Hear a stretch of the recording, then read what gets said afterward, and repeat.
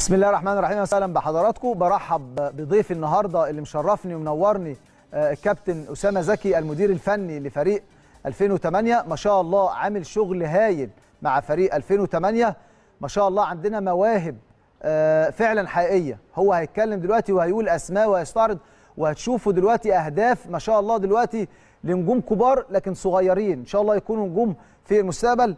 برحب بضيفي الكابتن أسامة زكي منورنا وشرفنا يا كابتن أسامة. أهلا وسهلا يا كابتن. بشكر حضرتك وسعيد إني موجود في قناة الأهلي وموجود مع حضرتك طبعا. الحمد لله. طمنا بقى على 2008 ما شاء الله بنسمع هنا من أول ما طلعنا برنامج الأشبال دايما بنذيع أخبار جيدة عن 2008 دايما في انتصارات آه، دايما بنشوف أهداف حلوة كمان على 2008 والله الحمد لله فريق فريق فرقة كويسة طبعا. من أول الموسم وإحنا بدأنا الموسم دوت في تصفية عدد كبير من من الفرقة. طبعا بتعليمات من الكابتن خالد البراعم كلها كنا بنصفي لأن العدد كان كبير. كان آه عندنا حوالي تقريبا 40 لعيب في فرقة 2008 قعدنا فترة ولذلك بدأنا بدري. يعني إحنا من أول قطاعات البراعم اللي بدأنا في مصر عشان نصفي ال- العدد الكبير دوت. آه. وطبعا دي كانت سياسه الكابتن خالد اللي إحنا نصفي العدد دوت. آه. آه أو ننقي المميزين. السنة اللي فاتت كان كام؟ 2008 العدد؟ كان 40 لعيب. 40 لعيب. آه أنا صفيت حوالي بقوا 20 لعيب. طبعا في لعيبة كويسة مشيت بس النادي الأهلي إحنا كنا مركزين على الكواليتي آه اللعيب يكون مميز إحنا النادي الأهلي عايز لعيب مميز لعيب عنده قدرات خاصة. في لعيبة كويسة لكن مش النادي الأهلي مم. فإحنا كنا مركزين على اللعيب المميز اللي ينفع النادي الأهلي القماشة اللي تنفع النادي الأهلي. لذلك كان في أولياء أمور كتير يعني آه، زعلان. زعلانين طبعا آه. إن هم مشوا لكن بعد كده شكروني أنا قلت لهم ممكن يبقى ليه فرصة تانية في أي نادي يلعب ويشارك. يلعب ويشارك لكن هو مش هيبقى ليه فرصة في النادي الأهلي. فالحمد لله كنا مركزين من أول الموسم على إن ننتقي مجموعة كويسة من أحسن البراعم اللي موجودين في مصر ومن أحسن فرق البراعم في النادي الأهلي 2008 ما كانش في اختبارات السنة دي. لا ما كانش فيه اختبارات طبعا عشان الكورونا بس أنا اجتهدت إن أنا أجيب حوالي حوالي جبت أربع لعيبة حارس مرمى. وثلاث لعيبة. آه. يمكن حارس المرمى ده حارس واعد يوسف صلاح. وبيشارك بيشارك. ولعبنا دورة زد يمكن بعد فترة الإعداد وبعد ما صفينا آه. لعبنا دورة زد كانت دورة قوية جدا كان بيشتغل فيها المركز الأول الأول الحمد آه. لله يعني وحققنا العلامة الكاملة آه. كسبنا في أول ماتش آه، زد. وكسبنا الزمالك تاني ماتش وكسب عندنا إحنا المباريات دي هن- هنشوف دلوقتي الأهداف آه. بتاعت آه و- 2008 في بطولة زد وآخر ماتش كسبنا بيراميدز آه. الحمد لله رب العالمين الأداء كان مهم عندي عن النتيجة. آه. فالحمد لله الفرقة دي جمعت بين ال ال ال الأداء الكويس والنتيجة الكويسة في الدورة ديت. زي ما إحنا شايفين دي لقطات لفريق 2008 دي في مباريات ودية دي. دي استعداد لبطولة آه ده الدوري. كان ماتش الجيش. كان ماتش الجيش ده في الدوري ولا في قبل؟ لا لا كان في آه. ماتش ودي. آه. آه ف لعبنا ماتشات ودية بعد كده طبعا آه، قبل دورة آه، قبل دورة زد. آه. لعبنا لعبنا استفدتوا أنتوا منها دورة زد؟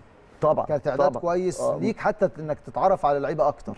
إحنا إحنا في الماتشات الودية الحمد لله رب العالمين أنا عارف قدرات اللعيبة لكن في دورة زد كان يعتبر آه، مقياس للعيبة ديت. هيقدروا ياخدوا بطولة قوية زي- كده ولا لأ؟ اللعيبة أبو جزمة صفرة ده. ارجع لنا تاني كده بالهدف ده ده ميسي، كوري. آه،. ده ميسي مسمينه ميسي؟ هو عمر عاطف آه آه. مسمينه ميسي ده آه. من أحسن اللعيبة اللي موجودة في البراعم في مصر. من اللعيبة اللي لفتت نظري لا وفي لعيبة كتيرة ليها قدرات خاصة في ال في ال في, ال في الفرقة دي. طب يعني في عندي قول لنا أسماء. في عندي من أول كده من أول عندي حمزة الدجوي وعندي يوسف محمود وعندي. آه وعندي صالح. آه. عندي ناحية اليمين في كريم تامر وعندي عمر آه، كمال. آه. عندي ناحية الشمال هشهش ده يمكن الخواجة مسميه روبرتو كارلوس لعيب كبير. آه هش-. آه هشهش ده لعيب كبير. عندي ناحية الشمال برضو مهند جبته السنة دي آه. وعندي عمر محمود. عندي في نص الملعب سيف آه. وسيف ده يعني من أحسن الديفندرات اللي موجودين في مصر. كويس. وعندي عمر. عدوي وعندي بلال بلال ده بلال يعني عطية. بلال ده متعة. اس- استضفناه السنة اللي آه فاتت. آه معانا لعيب كبير بس أنا الحمد لله آه. وظفته السنة دي position غير ال position بتاع السنة اللي فاتت. هو آه. كان بيلعب راس حربة. آه. أنا لعبته لعيب نمرة 8 آه السنة دي مم. آه عندي كمان في نص الملعب مروان مم. وعندي بجاد وعندي آه قدام عندي حمزة ده جبته السنة دي راس حرب. هايل مم. راس حرب هايل يمكن خد أحسن آه، من أحسن اللعيبة في دوري الزد وخد آه. الهداف كويس وعندي ناحية الشمال في عندي يوسف حلمي وعندي شندي وعندي غزالي عندي ميسي طبعا بيلعب ناحيه يمين هو آه. اشول مم. ومش عايز أنسى حد بس عشان ما ما حدش يزعل هتتورط لو آه، نسيت حد. آه آه مش هتعرف تدخل التمرين بكرة آه آه عندي طبعا زياد أيوب برضو راس حربة آه آه لعيب كويس قوي و بتلعبوا كام جول في الملعب يا كابتن؟ بنلعب تم- مسابة 12 سنة بنلعب 2008. بنلعب 8 وجون بس ب- يعني ده مؤشر للسنة الجاية آه. يعني إحنا هنلعب السنة الجاية 11 الفرقة دي ف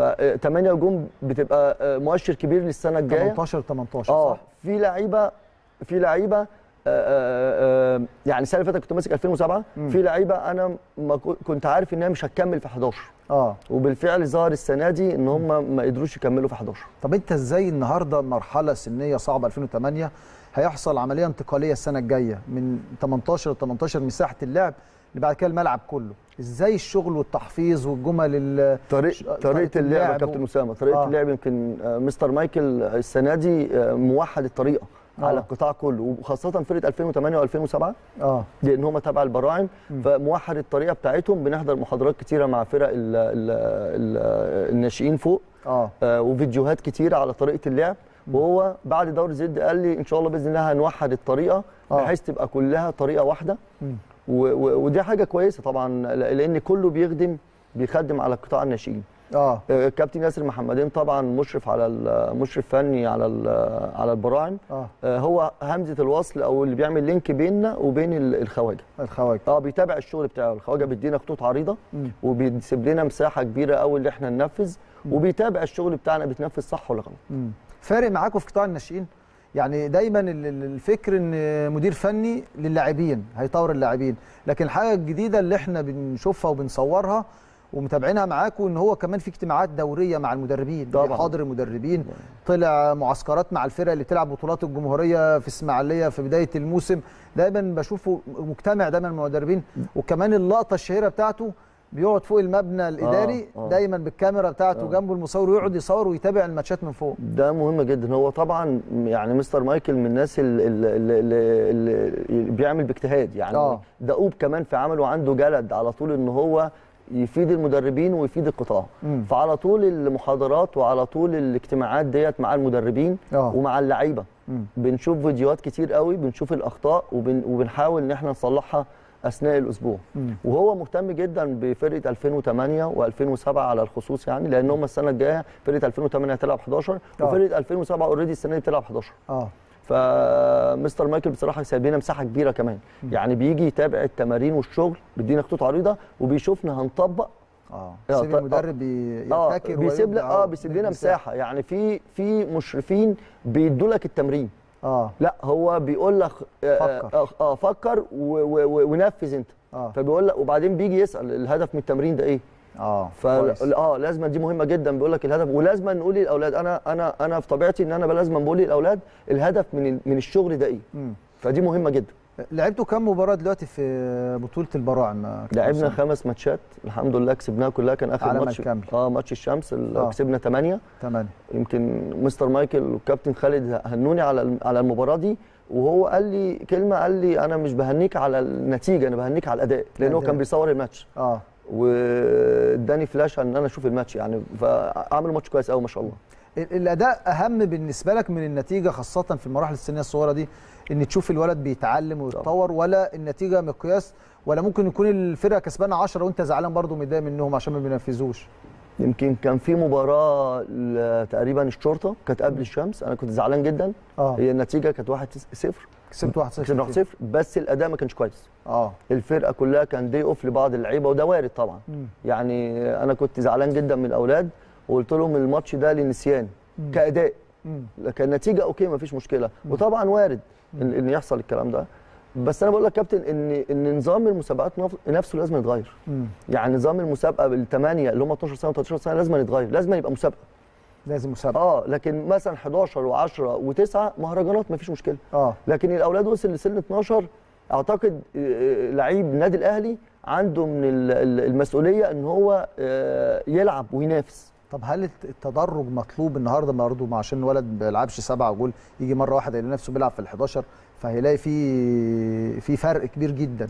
فالتدرج ده النهارده بيلعب على مساحة أكبر السنة الجاية هتلاقيه بيلعب على مساحة ال- الملعب. ممكن يكون التدرج ده مطلوب برضه. والله يا كابتن بس أنا شايف إن 2008 من أول 12 سنة لازم يلعبوا 11 11 لكن الفرق والفرق الصغيرة مش مش مش قرآن إن هم يلعبوا خمسة وجون. آه. ما يزودوا مساحة الملعب شوية يلعبوا ستة وجون. ممكن. و2000 سبعة وجون وهكذا. مم. ده بس 12 سنة أنا شايف إن هم ممكن يلعبوا 11 مم. يعني من أول 12 سنة يلعبوا 11 أنا من رأيي طول ما الأعمار السنية الصغيرة دي فرصة للولد إنه يستمتع.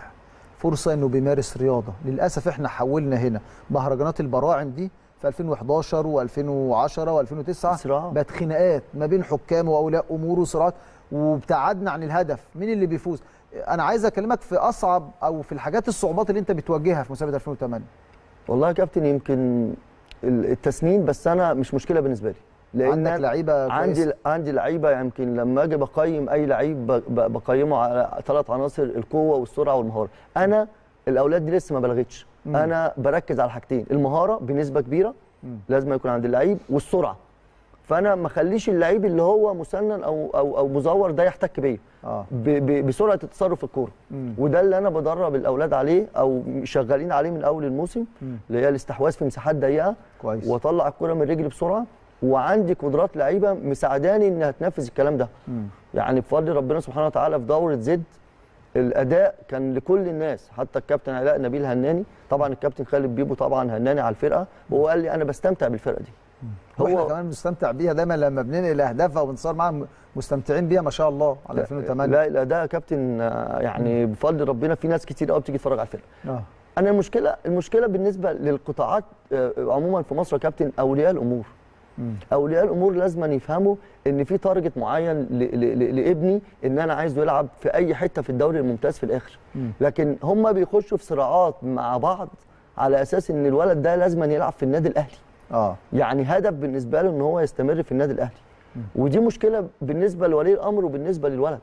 وبعدين ما ولي الأمر يعني أنت عايز تلخصها إن هو حاطط ضغط على الولد الصغير. بالظبط ما كده ينفعش في السن ده لا زي ما أنا قلت من شوية السن ده في السن استمتاع الولد بيتعلم وبيستمتع بكرة القدم وبعدين يا كابتن الهدف إيه؟ أنا ابني صغير لسه في سن البراعم آه. آه. لسه يعني في طفره هتحصل له 13 14 15 سنة هيبان شكله إذا كان الولد ده هيقدر يكمل first team ولا مش هيكمل والله أنا بشوف بص بشوف ساعات مهزلة في المهرجان بتاعت البراعم يعني آه. مرة وأنا بتفرج شفت مرة من المرات مدرب واقف على الخط ولد عنده تسع سنين بيعنفه كأنه لعيب في الفريق الأول. كأنه بيلعب مسابقه مثلا كأس العالم وال- وال- واللعيب ده خسر المدرب بطولة كأس العالم. تشوف ال- الأسلوب والطريقة يعني حاجة منفرة جدا. حاجة تانية برضو من الحاجات اللي شفتها ولي أمر نط من على السور أيوه. علشان عايز يضرب حكم في مهرجان براعم. أيوه يا كابتن. آه. هم هم مشدودين جدا. وبعدين مع احترامي ليهم يا كابتن هم بيعاندوا بعض. آه. بيعاندوا بعض. والضحية الولد في الآخر. محمد صلاح رفع سقف الناس في الكورة دلوقتي؟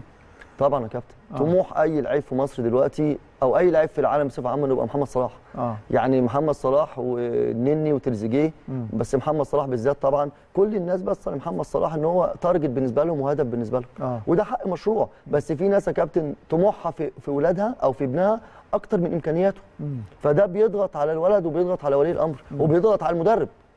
يعني آه، ال- ال- ال- الولي الأمر ما بيشوفش عيب ابنه بيشوف الميزة بتاعته. يعني لو عمل آه، جات له 10 كور عمل آه، تسعة miss pass وعمل pass كويس.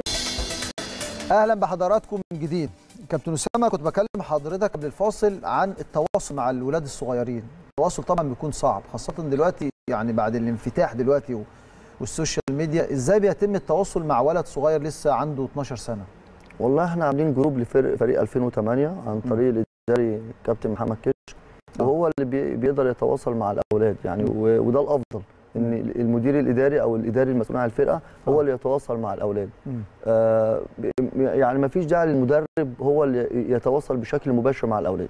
عن طريق الإداري كل التعليمات أنا بديها للإداري والإداري بينزلها على الواتس للأولاد آه فالتواصل بيبقى مع الإداري أفضل. طب بالنسبة لحتة الدراسة والتنسيق ما بين الدراسة وما بين بين التمرين والكلام ده كله آه طبعا. بت- بتحط مواعيد التمرين النهارده بعيد طبعا عن مواعيد الدراسة أو والمدرسة؟ طبعا يا كابتن. وبصفه عامة طبعا التمرين بيبتدي مثلا تجمع 2 ونص التمرين بيبقى الساعة 3 آه. و... بس لظروف الكورونا الأيام دي طبعا معظم الأولاد ما بيروحوش المدرسة بس إحنا برضو مستمرين على نفس المواعيد دي. آه. 2 ونص التجمع والتمرين بيبقى الساعة 3 طبعا بيبقى في تواصل طبعا واهتمام بالأولاد طبعا في الدراسة آه. اهتمام كبير آه، بحيث إن هو طبعا لازم يبقى ولد برضو عنده ثقافة ومتعلم. آه. ده الأفضل طبعا. طبعا. فبيبقى في تواصل. كمان. طبعا طبعا. بيبقى في تواصل طبعا مع بس عن طريق الإداري. عن طريق الاداره عن طريق الإداري. يعني أنت مفضي نفسك للحتة الفنية أكتر طبعا. بالنسبة للولاد. الإداري ده يعتبر مدير الكره بتاع الفرقة. هو آه. المسؤول عن كل حاجة. مم. عن طريق أنا برضو ب- بشكل مباشر بس أنا بسيب له الحتة الإدارية دي. تمام. عايز أكلمك عن الجهاز الفني بقى المعاون معاك. مين اسمائهم أو مين الناس الموجودة معاك؟ كان معاه كابتن أحمد رؤوف بس آه. طلع 2001 2001 صح؟ آه. ومعاه كابتن سمير عبد الله مدرب حراس مدرب هايل بصراحة أخلاق أخلاقه عالية جدا ومدرب فني هايل يعني. آه. ومعاه كابتن محمد كشك آه. ومعاه عمال محمد شعبان وأحمد بنيامين. تعالى مع بعض كده نشوف تقرير ده مع لاعبي وجهاز 2008 وقالوا إيه عن مدربهم الكابتن أسامة زكي.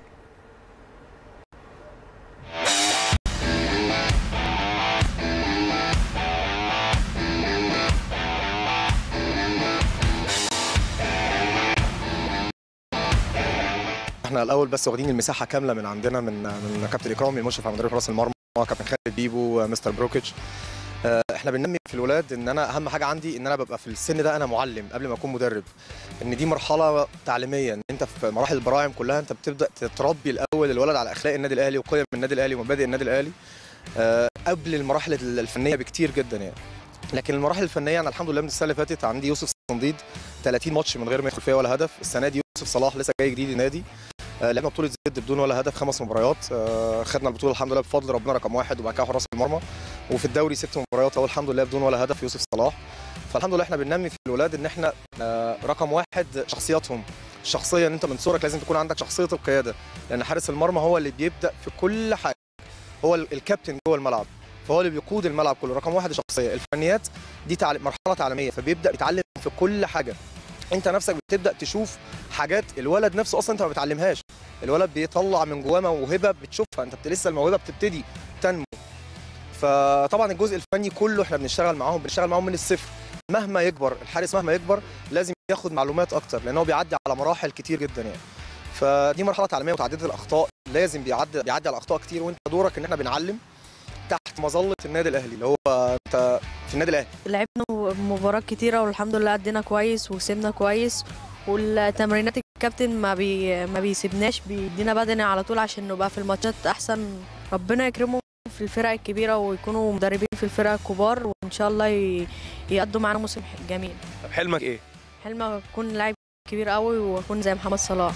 أهم حاجة نبقى نكون رجالة ونكسب كل ماتش عشان إحنا الأهلي ما بنخسرش وكده بس. إحنا لعبنا كذا ماتش والحمد لله كسبنا فيهم وما خسرناش ولا تعادلنا عشان ما ينفعش نخسر ولا كده. لازم تلعب كويس وشد حيلك. كده بس. حلمك إيه؟ نوصل فريق أول. الحمد لله الماتش اللي فات أدينا كويس جدا بشكل كويس. عشان من أول الماتش سهلنا على نفسنا الماتش. جبنا أول جون في أول خمس دقايق بعدين تاني جون ورا تالت جون. بقى الماتش سهل بالنسبة لنا والكابتن بيشجعنا أكتر وأكتر من بره. يعني بيقول لي قبل الماتش آه، خليك إيجابي على الجون آه، ركز على الجون كويس عشان نسهل الماتش من الأول يجيب جون فالماتش يسهل. والفرقة الفرقة اللي بتلعب ضدنا يعني تستسلم فاحنا نقدر نجيب الجون أكتر ونأدي بشكل أحسن طب وحلمك إيه مع النادي الأهلي؟ إن شاء الله هطلع الفريق الأول ومن أحسن اللعيبة اللي في مصر تقول إيه للكباتن بتوعك؟ أشكرهم جدا طبعا للأداء اللي هم مخلينا فيه والمساعدة بتاعتهم لينا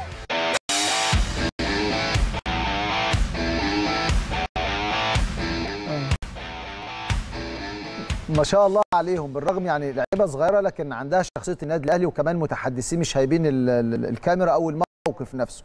كابتن أسامة وإحنا كنا بنناقش قضية مهمة جدا في بداية الحلقة وكان معايا مداخلة مهمة جدا كابتن إمام آه محمدين رئيس قطاع الناشئين في الاتحاد السكندري عن إلغاء البطولات السنة دي.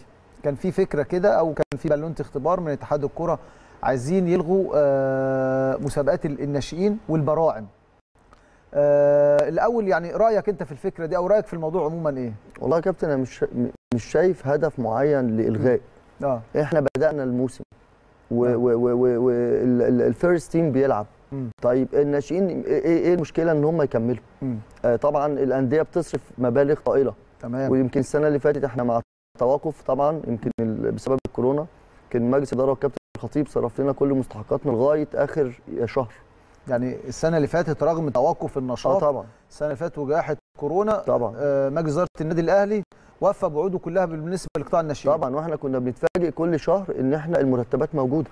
وإنتوا قاعدين في بيوت. وإحنا قاعدين في مفيش البيت. نشاط. مفيش نشاط. فدي. طبعا خسارة كبيرة على الأندية. إحنا إحنا إحنا يعني مش عارف على أي أساس اتحاد الكرة لغى.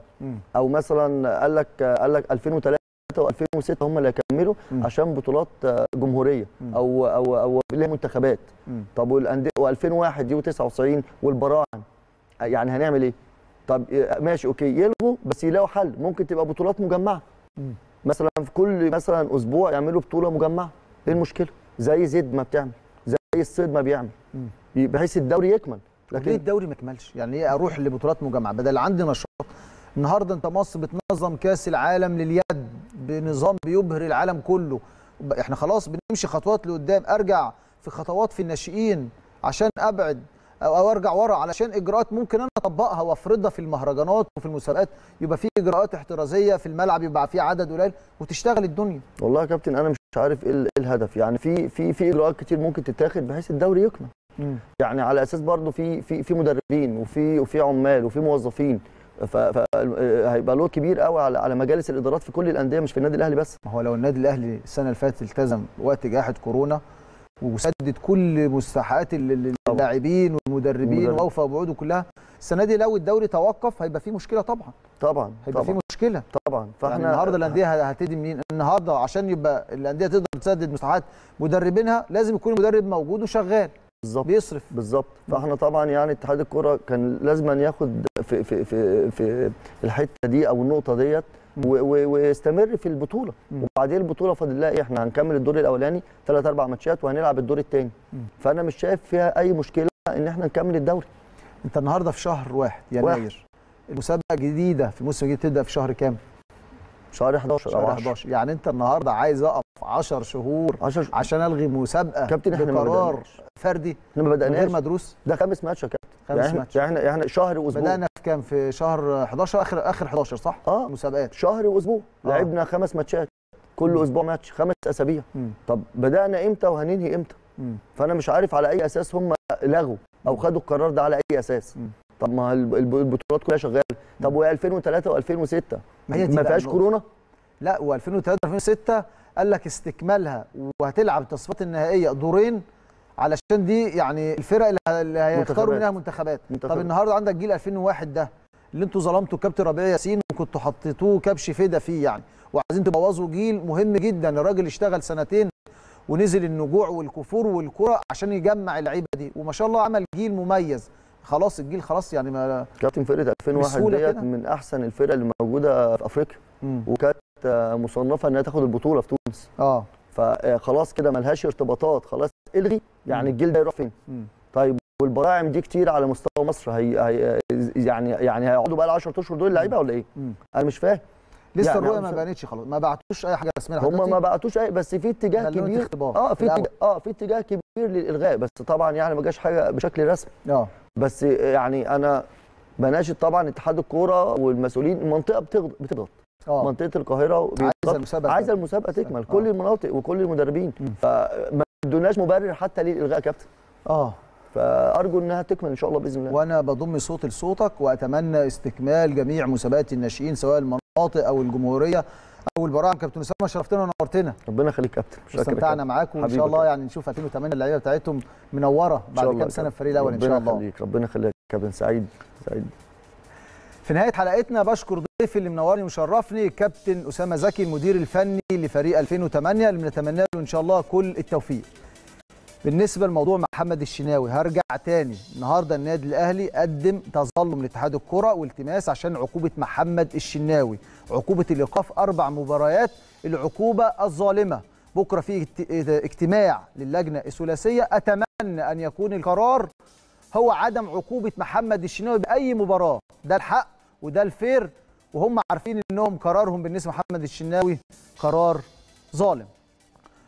كده وصلنا لنهاية حلقتنا. أشوفكم إن شاء الله الأسبوع اللي جاي وحلقة جديدة من الأشبال. شكرا والسلام عليكم ورحمة الله وبركاته.